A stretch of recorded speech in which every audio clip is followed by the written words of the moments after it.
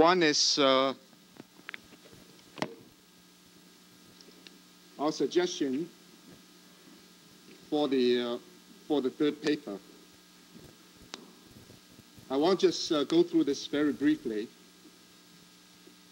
For the third paper, I want you to be, uh, we want you to be more critical in terms of your reflection on the Confucian style of moral reasoning. But also we want to, to exercise your own ethic of responsibility.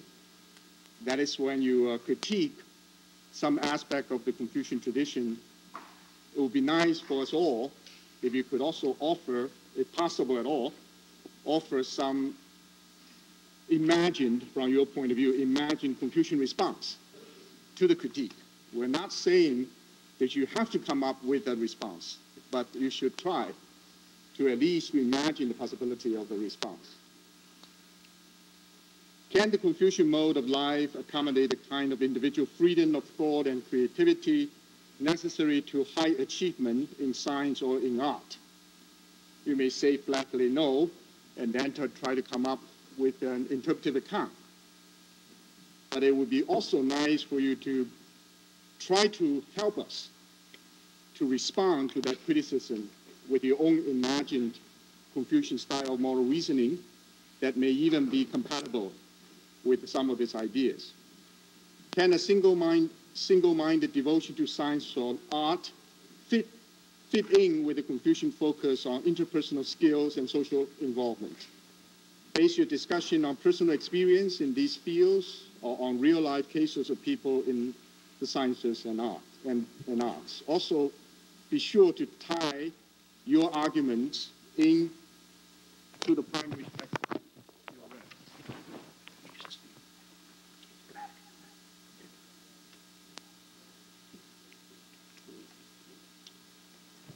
And the second one is uh, based upon some of the issues raised in the Universal Declaration of Human Rights in the 1948 account You may want to,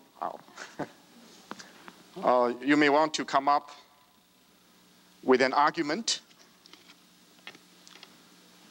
concerning the compatibility or even incompatibility of Confucian ethics with the human rights discourse. Uh, I just want to remind you, uh, actually, a teacher of mine, uh, Professor Wu, W.U., Wu Deyao, who was one of the original drafters uh, of the Declaration of, of uh, human rights in 1948. And he later became a prominent uh, Confucian scholar in Singapore. Evaluate one or more of these articles from a Confucian perspective, or evaluate an aspect of the Confucian tradition in light of these articles. Can Confucianism accommodate a theory of rights? If not, is this a fatal flaw?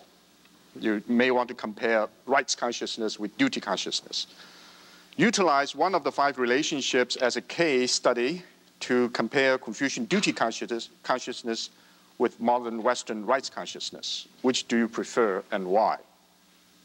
Is there a Confucian perspective on our growing ecological concern? Analyze the relationship between humankind and nature in Mencius and the Western inscription or other texts you've read this semester. Can we perceive from this analysis the Confucian vision for properly interacting with the environment. Is that vision convinc convincing? Why or why not? To what extent and in what ways does Confucianism rely upon tradition as a source of values? What are the strengths or weaknesses of drawing upon tradition as a source of moral authority? Formulate the feminist critique of Confucian ethics? Is it possible to devise a Confucian response to such a critique with a view toward the future? Uh, personally, two or three years ago, I actually organized a major meeting in uh, Honolulu called the Feminist Critique of Tradition with emphasis on the Confucian, Confucian dimension. I met some of the most brilliant feminists and it was extremely educational in Neo-Confucianism, there is a concerted effort to metaphysically ground human ethics. how do such ideas as vital energy, qi, and principle, li, or inner pattern, relate to earlier Confucian ideas of moral reasoning? Can these Neo-Confucian notions enhance our moral understanding?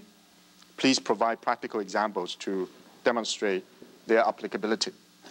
Now, if you feel unhappy with any of those questions, you may devise and answer your own question, provided you let your TF know and approve no later than April 25th. Uh, any questions concerning the assignment? Terrific. In order to uh, address the issue of sympathy and empathy, which of course is key to our understanding of this Confucian style moral reasoning, I would like to introduce an idea. The philosophers are really very much interested in this idea, but it's not, still not part of our own uh, mental furniture. That is the idea of correlative thinking. Correlative, as an adjective, actually indicates a reciprocal or complementary relationship, some relationship that is reciprocal and complementary. You can envision a causal, complementary, parallel, or qualitative relationship, a kind of uh, correspondence between two intrinsically compatible entities. Now, the assumption, say, metaphysical assumption or worldview of the Confucians in fact, all the major Chinese thinkers, is that this type of correlative relationship is intrinsic to the world. In other words, anything in the world, if you look deeply enough, if you analyze it comprehensively, will have a correlative relationship, which is a big claim. But I think, given all kinds of uh, studies in modern cosmology, physics, and even psychology, this is, not, this is no longer simply imagined. You can argue very persuasively that's the case. So the idea, the simultaneous change in value of two, of two things, sometimes even two random, random variables. They are somewhat connected. Normally, in our, in, our, in our language today, we use the word correlative in a very specific case, specific sense. We say there is a positive correlation, say, between drug and crime, right? We can say there's a negative correlation between normal, normal vision, or normal vision and age. That's the way we use the term correlation, correlative. Try to broaden that to imagine a situation where randomly choose any two items in the world, have to imagine the possibility of some correlative relationship. Now, this is, of course, is linked to the idea we've uh, studied it before and I have to revisit it, the continuity of being. In the sense, all modalities of being in the world are continuous, are interconnected. If we look deeply, analyze comprehensively, we always see the possibility of link between the two. This does not necessarily mean that we cannot differentiate different structures. The ability to differentiate is not at all in conflict with this assumption of the continuity of being.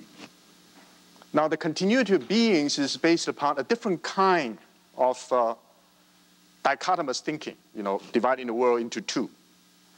One kind of di dichotomous thinking that is totally alien to this idea of the continuity of being is the, the dichotomies that we are very familiar with under the influence of the modern West, not the West in the period of Greece or in medieval Europe, but, but the modern West.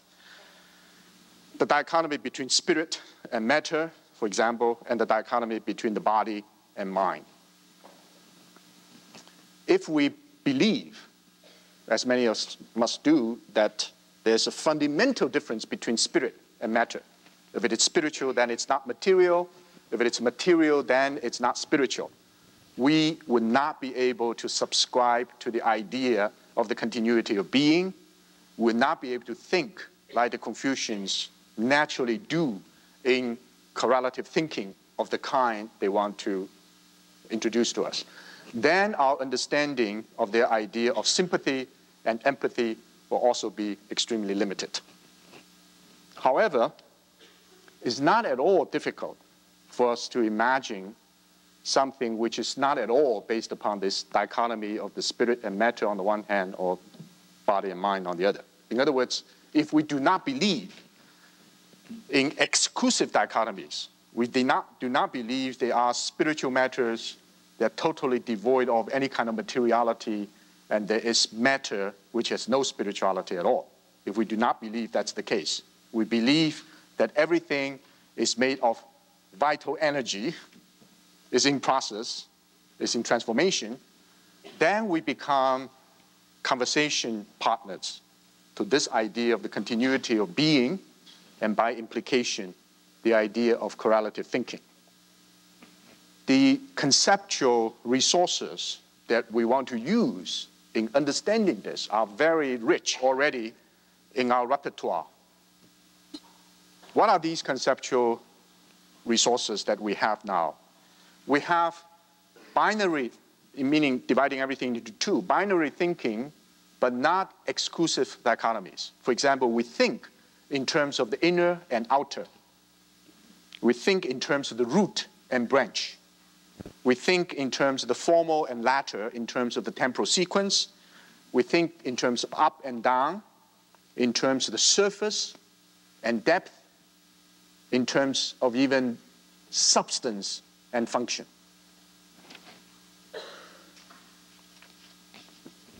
In fact, we can even imagine, which doesn't require any kind of leap of faith, you know, we can imagine what may be called spirituality of matter.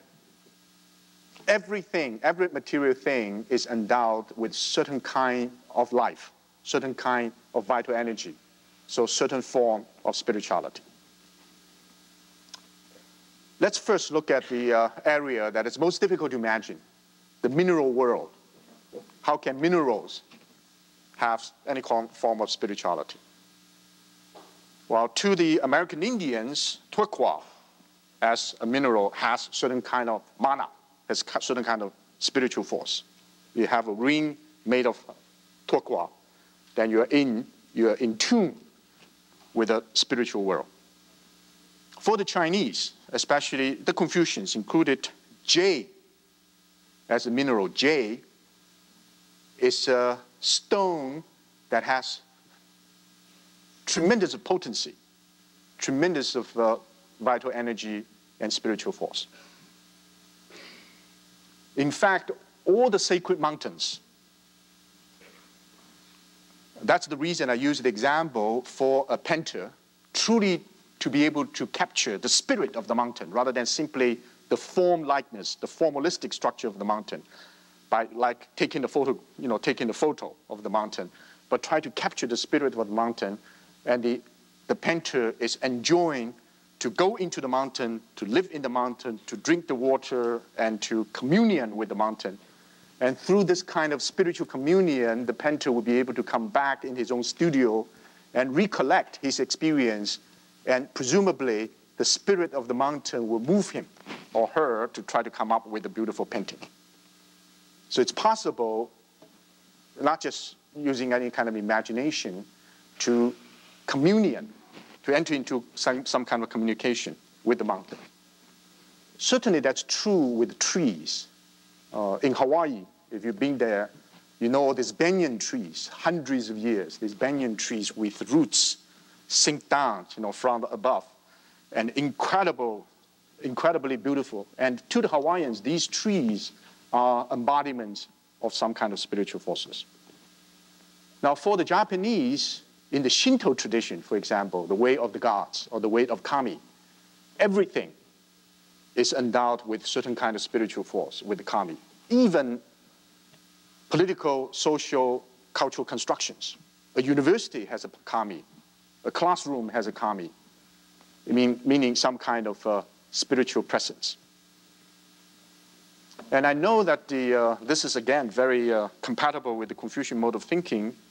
Uh, Native Americans the indigenous, the indigenous, uh, indigenous peoples have this ritual of adoption.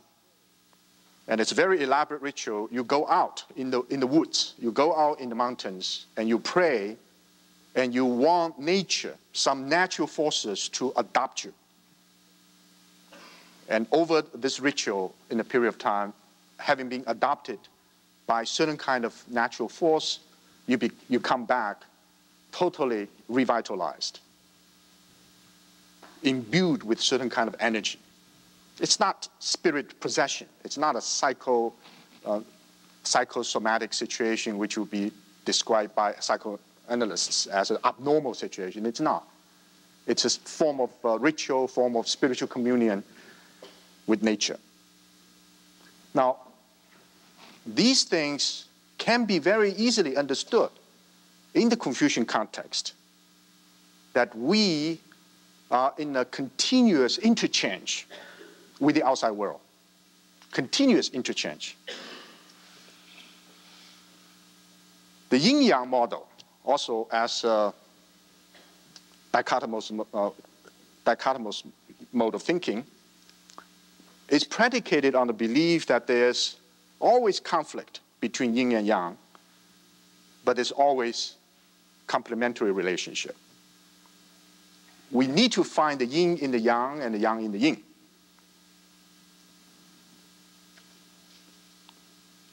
It is primarily a theory of interchange.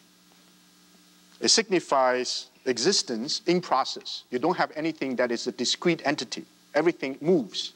So there is a process. Even stone is a configuration of energy. It also, there's possibility of movement.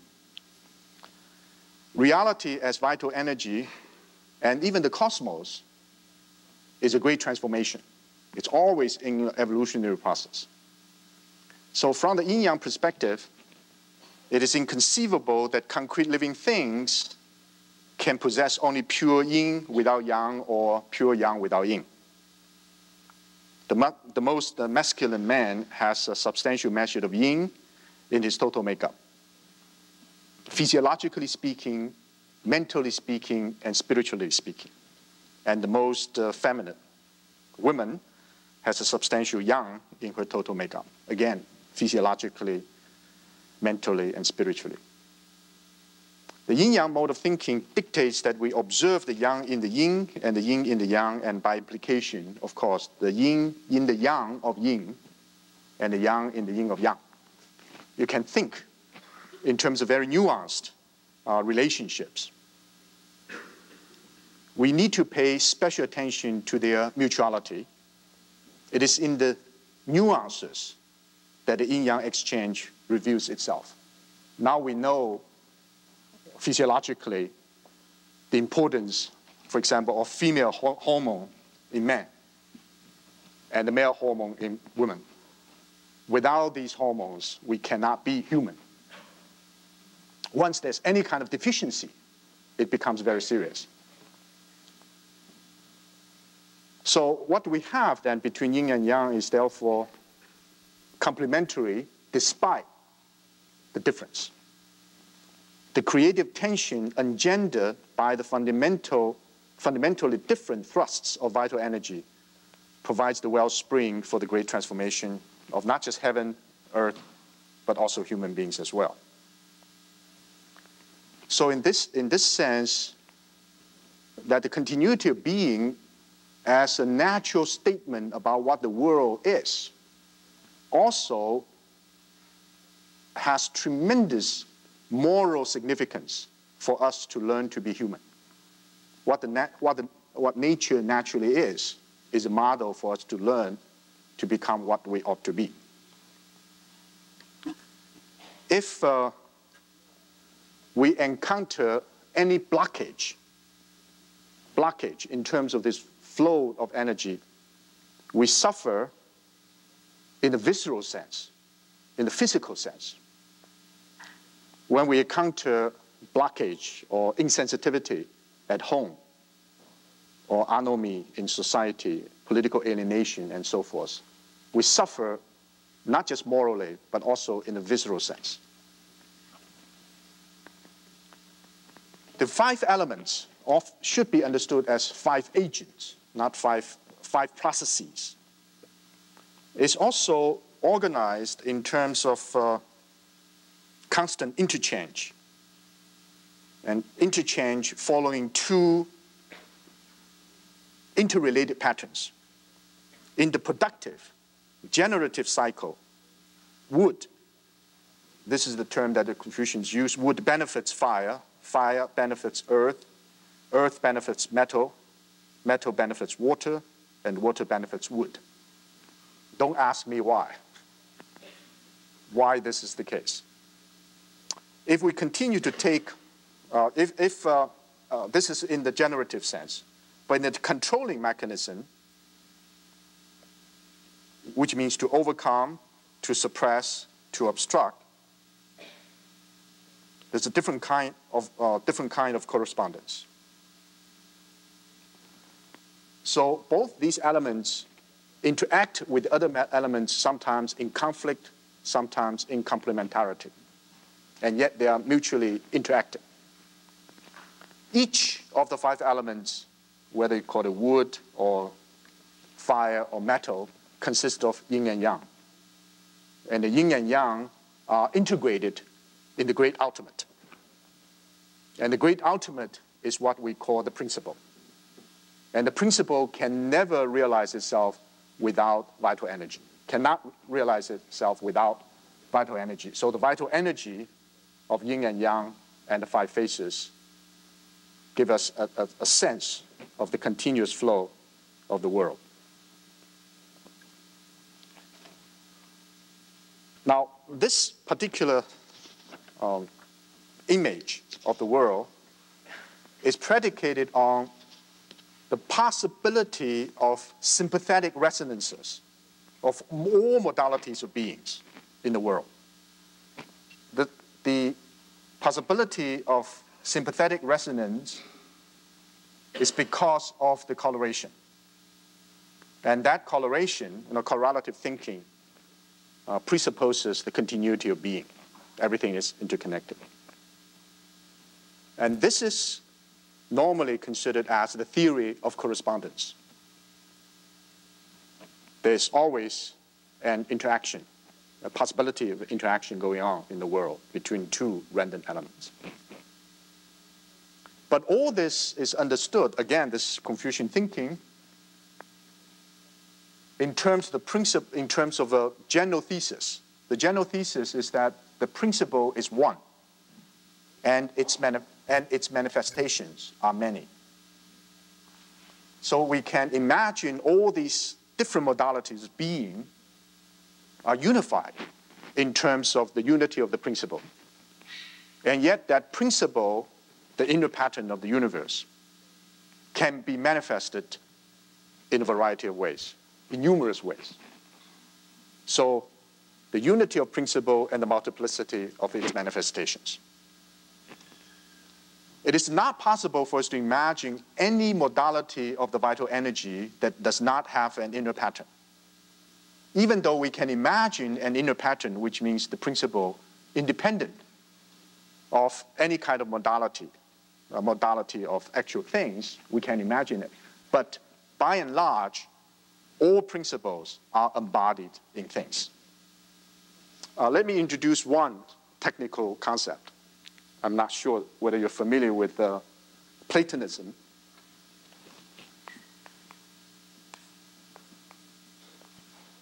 But it's easy to understand, even if you've never heard of a Plato. Right? Now, Plato has made, it, made a a very important observation which turned out to be very vital in understanding Western thought. That is the idea, the idea in Plato's thinking, comparable to the Confucian idea of the principle or the pattern. The idea, when it is being realized in concrete things, a chair, the idea of a chair being realized in a concrete chair, the idea of a human being realized in a concrete human being, the idea of dog being realized in a concrete dog, is always distorted and partial. Therefore, the idea can never be fully embodied in anything. nothing can fully embody the idea. It is always a distorted, impartial realization of the idea. Now, this used as a reference point.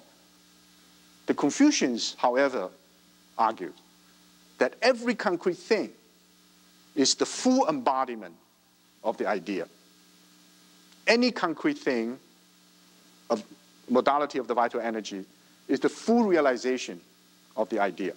It's how the idea realizes itself.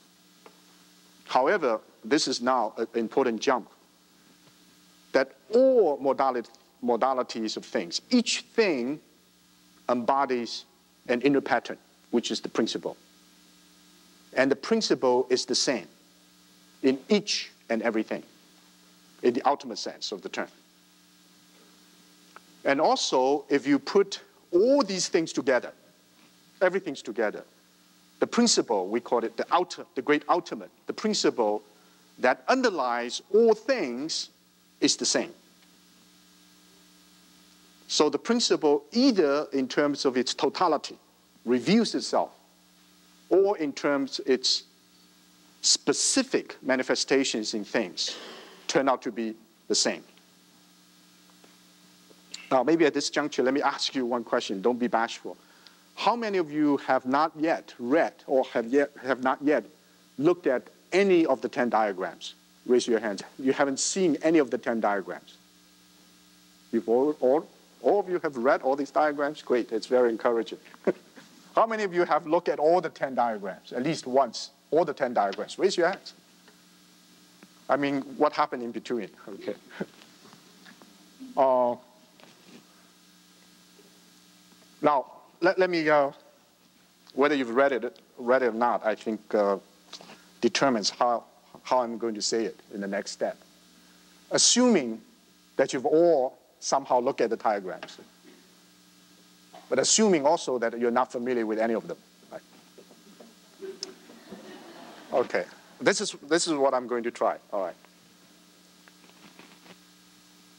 In the last five diagrams, of, uh, of Yi Ge. I should give.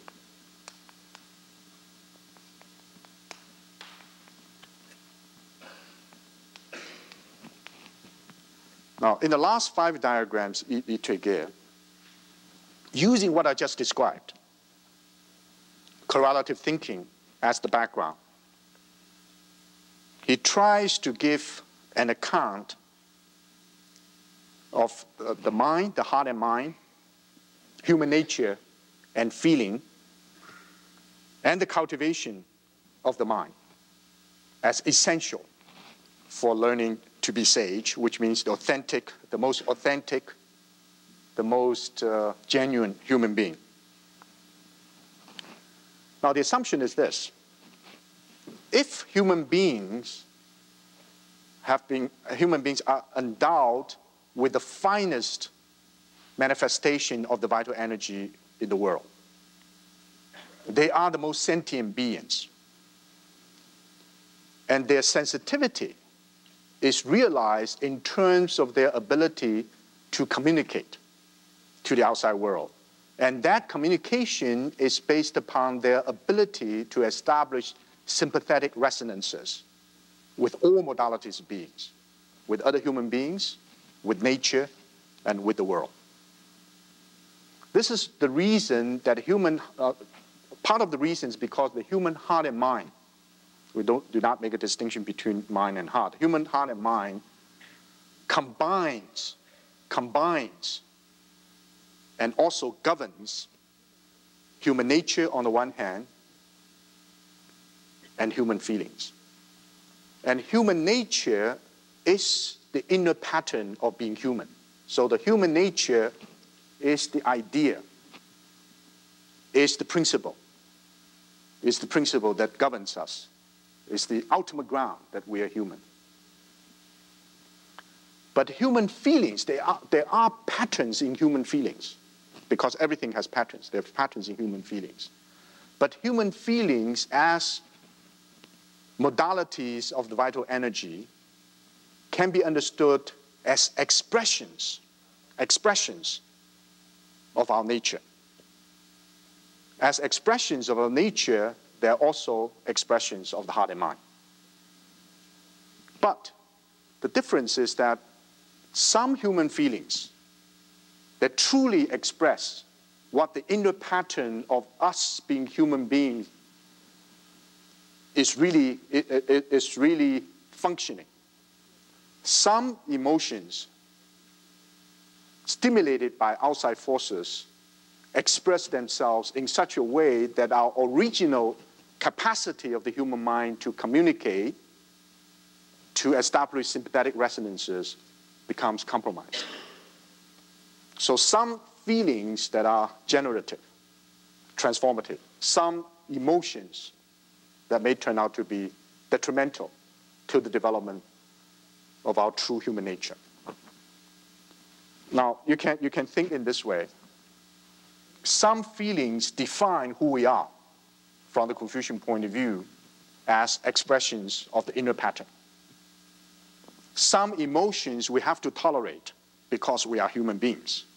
So we can say it is only human to be angry.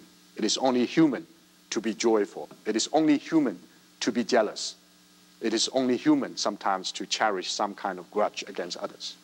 It's all too human, human. Now, in, in Chinese, Japanese, Korean, there's only one word. That's qing, qing, which actually means feelings or, or emotions. There's only one word.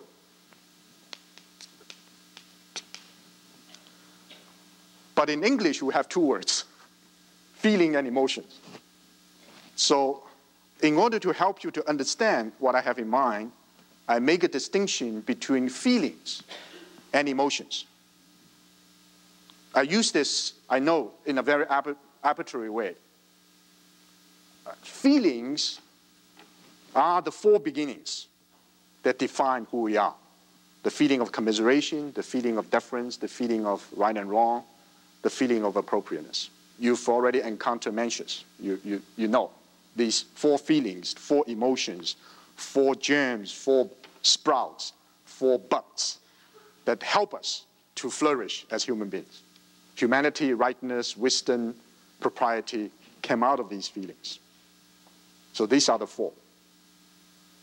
But the seven emotions refer to our normal human feelings or emotions anger, joy, sorrow, pleasure, these. The major debate in the 10 diagrams, and the, if you get a chance to read, especially the first one, between two great Korean Confucian thinkers. Uh, I don't want, it's no need for you to become totally familiar with the argument, but just to give a sense of the issues. The issues are vital for Confucian moral reasoning between Yi T'oegye, who is the author of the 10 diagrams, and one of his younger challengers by the name of Li Yulgok. These are two positions. I don't know, I take one position, but some of you may take another position. That's fine. Most of my colleagues do not agree with me on this. Yi T'oegye has this observation. Since the four beginnings as feelings define who we are, the more we have, the better we are as human beings. For example, the more commiseration you have, the more sense of right and wrong you have, the more sense of deference you have, the better human beings you will become. So these are the four, and he would say these four are expressions of our inner pattern. They are defining characteristics of being human. But the seven emotions are not necessarily so. They may be okay. Moral indignation is fine, but you become angry or angry all the time. It would be bad for social relationships, to be sure, but probably also extremely bad for your physical existence. There's a case of a prime minister in China who, in his diary, said he spent 19 years trying to control his anger. And yet he still, be, he still turned out to be an angry old man. So the Confucians uh, commented on this. It's wrong. This is, the whole approach is wrong. We'll get a chance to say what is right, what is wrong in that sense. The to total approach is wrong. But anyway, there are emotions that as human beings we cannot but have. And yet these emotions, if they become excessive, they're not only detrimental to social relationships, they're also bad for us physically, the seven, emo seven emotions. So they need to be channeled. They need to be, uh, they need to be harmonized. Sometimes they need to be overcome.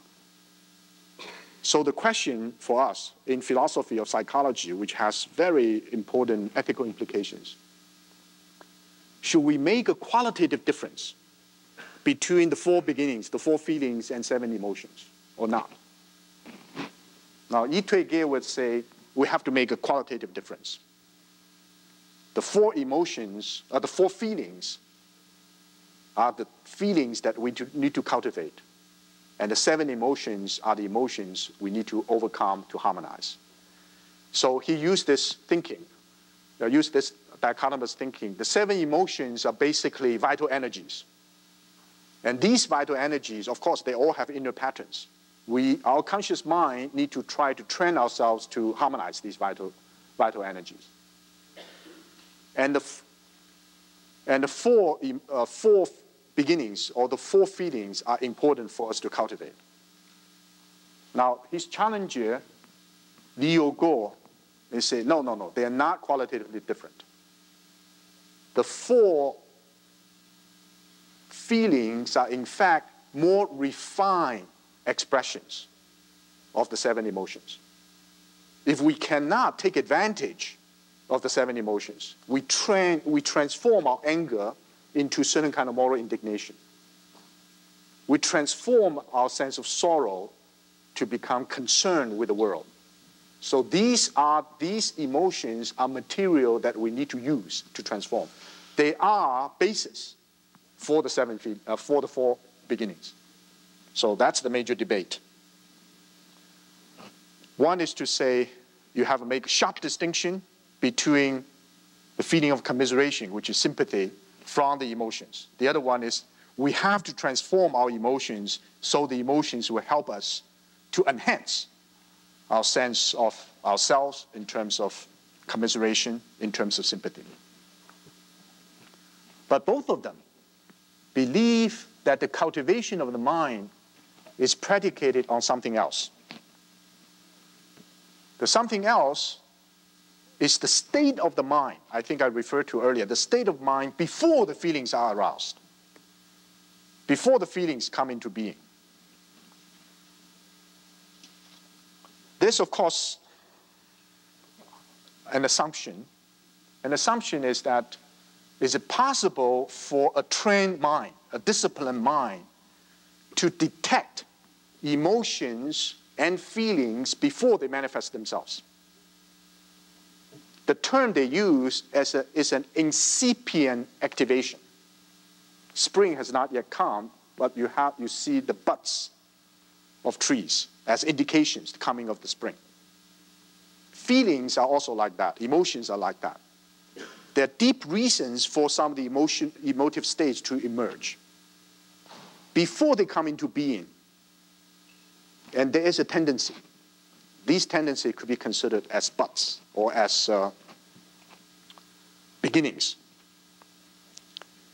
Now, if we can anticipate, if we train ourselves to be able to anticipate these feelings to express themselves, we'll be able to not just to overcome them, we'll be able to channel them to the best use. Now, the reason that angry old man, that prime minister, was not able to deal with anger is because he dealt with his anger when he became angry.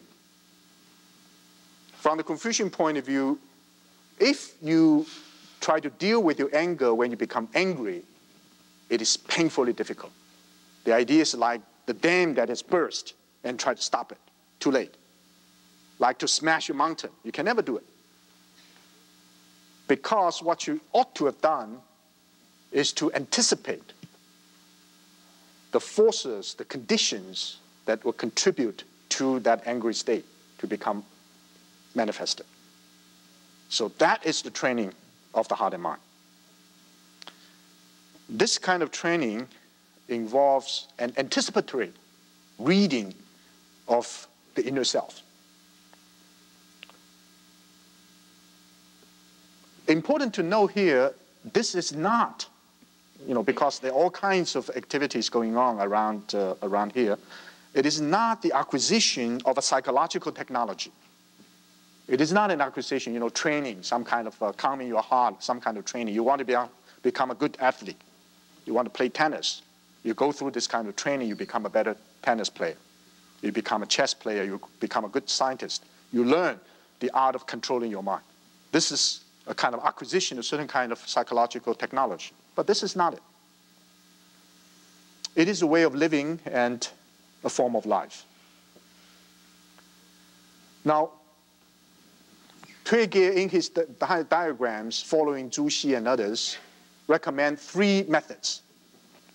One method, which is the most mundane, which is most ordinary, but eventually probably the most effective, that is try to develop a certain kind of uh, mindfulness through propriety. In other words, ritual practice. You force upon yourself, this is voluntary. If it is imposed upon you from outside, it would never work. You forced upon yourself certain daily rituals. The way you walk, the way you talk, the way you get up, certain rituals. And force yourself to submit yourself to these kind of rituals. And once these rituals become internalized, they will be able to help you to understand your heart and mind. But the second method, the method of concentration, the method of uh, single-mindedness, is what is considered. It's very, on the surface, very Buddhistic, but it is not. This is called constantly being alert. That training of constantly being alert is difficult to understand. I give you one uh, anecdote, and you will appreciate it. In the 60s, there a general survey of uh, different states of the mind in terms of uh, spiritual discipline in the Buddhist monks. For example, in Japan, they've done that. Some of the great Zen masters, they will be able to sit down for a very long period of time and constantly being alert. So they are wired so we could test their brain, brain waves. Normally, when they sit down, they will produce very broad alpha waves. You know, after a little bit of uh, beta waves, they, they will be able to do that. But when you, uh, you clap your hand or shout at him, there will be sharp response, very sharp response. After the sharp response, they gradually will be able to produce good alpha waves again. Even after 15 hours, of sitting, this pattern remains. Now, in the ordinary situation, if you try to do that, we would, we would uh, gradually be able to produce this. When you have some kind of stimulus from outside, will be sharp and will take a, quite a while become you do it. And then in about an hour or so, the stimulation will be very little. And then, of course, it means you're half, half asleep. This is, this is what normally we do that. But in the constantly being alert is the ability to be awakened, totally sensitive, sympathetic to all the forces from outside. Even the drop of a pin will be heard, and yet immediately return to that very calmed state of mind. So this, this is the training that is much more focused. It's much better than simply the training of following some kind of rituals. All these are related to the particular training that is characterized, a training in ordinary days in the state of reverence. The state of reverence in the Analects is to say whenever you, you walk out, walk out of the house, you always psychologically tell yourself you're going to meet a major guest. A major guest is coming. Your uncle or your mentor, your friend is coming. So immediately the state of mind becomes different if you're going to meet a major guest. Or the instruction for the governors or for people who are in uh, political responsibility is to say, whenever you want to use the people, the spirit of reverence is that you use the people in the spirit of a major ceremony, like an ancestral ceremony. Once you walk into the temple, your mind is collected. Every move is considered ritualized. So this sense of living in an ordinary situation requires, therefore, the final, you know, the final diagram in the uh, in the book to become sage is diligence, to get up early in the morning and continuously try to refine oneself in, in the sense of diligence. Now, once the mind is trained through either ritual practice, through the concentration of single-mindedness, through the spirit of reverence and diligence, then the mind will be a true receptor in terms of commu communication with the outside world. And that communication reveals a generative, a generative force. And also, we call it a concerned consciousness. I'll give you, uh, the time is short, I'll give you a, a very simple illustration of this problematic in terms of the gender question. This is my last point, but I think would tie all this together. Um,